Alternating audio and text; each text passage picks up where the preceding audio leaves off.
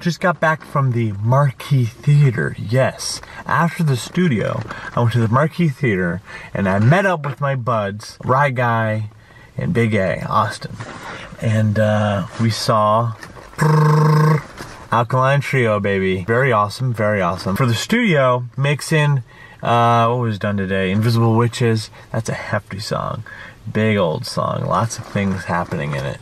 Lots of things need to be mixed. While we're doing that, I'm like thinking, I'm like, we gotta, we gotta get this freaking uh, album title settled. You know, like need to get it solid. So back and forth, back and forth with the bros, Bobby and Jimmy. Previously, I mentioned that it was most likely probably gonna be Demon Spitter. Okay, um, well, that just got switched back to Flee the Light. It fits the, the overall vibe of the album compared to Demon Spitter, although I love Demon Spitter. Um, you know, it's a cool name.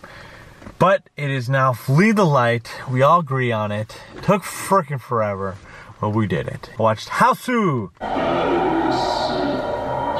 It's awesome. It's a good movie. It's a good weird, uh, I guess you could put it, good, weird, experimental, artsy uh, type of movie. Watch some Fright Night, hell yeah. Fright Night, dude. I'm wearing the Ghost Wolf shirt today uh, to put in context of when this comes out. Um, three, was it three, four, five days ago? A little bit ago. Uh, put them out. Put these shirts out. Limited ish, right? Boom. Two hours. Sold it in two hours. All thanks to you. Thank you so much. More limited edition stuff, baby. More down the line.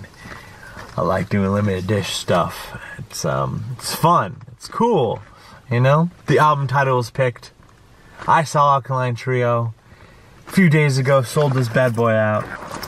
There's some good context for you. 2018. All right. On to the next day, baby. On to the next day. Bye.